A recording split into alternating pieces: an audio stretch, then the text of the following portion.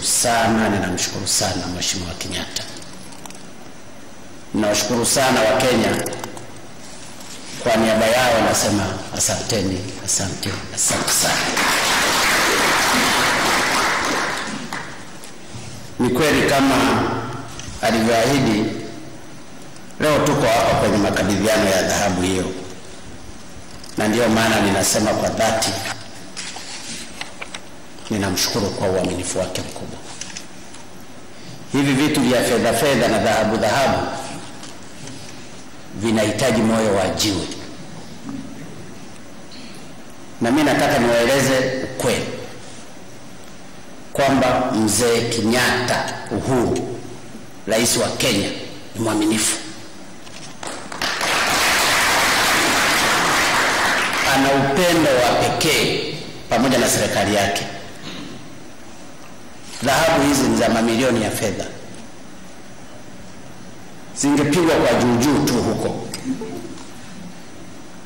lakini hata hizi fedha kuendelea zinachungwa kwa miaka kumi na mitano ni uaminifu wa hali ya juu sana.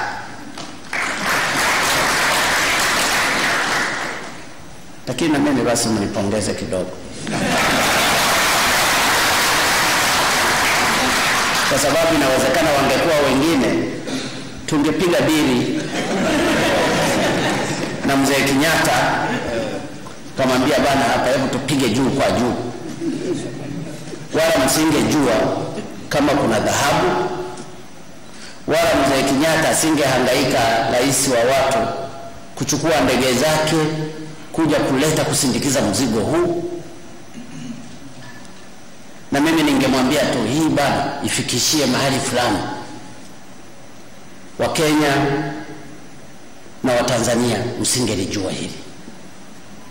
Kwa hiyo kitu kikubwa kwanza ni uaminifu na kumwogopa Mungu kwa mali za Wakenya na Watanzania, na ndiyo maana nasema kwa dhati kabisa, Mheshimiwa Rais Uhuru amefanya kitendo cha kishujaa na ametoa mfano mkubwa. Ndugu zangu, nchi za Afrika zimebarikiwa kuwa na utajiri mkubwa wa rasilimali za maliasili ikiwemo madini.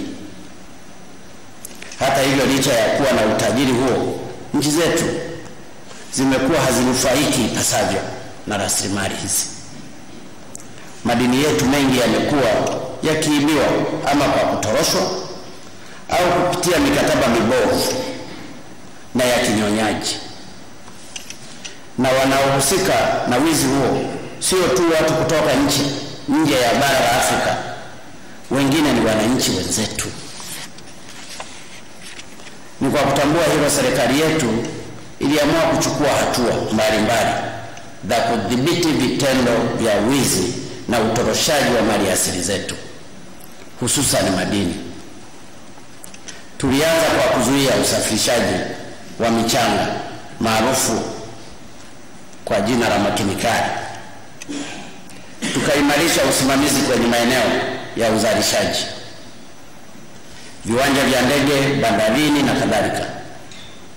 Aidha, tulifanya marekebisho ya sheria, kujenga ukuta Mererani, kuanzisha wizara mahususi ya kusimamia sekta ya madini na waziri wa madini yuko hapa, na pia masoko ya madini ambapo tangu mwezi Machi 2019 tayari tumeanzisha masoko 28 ndani ya nchi ya Tanzania. Tumepunguza pia kodi mbalimbali mbali kwa wachimbaji wetu wadogo.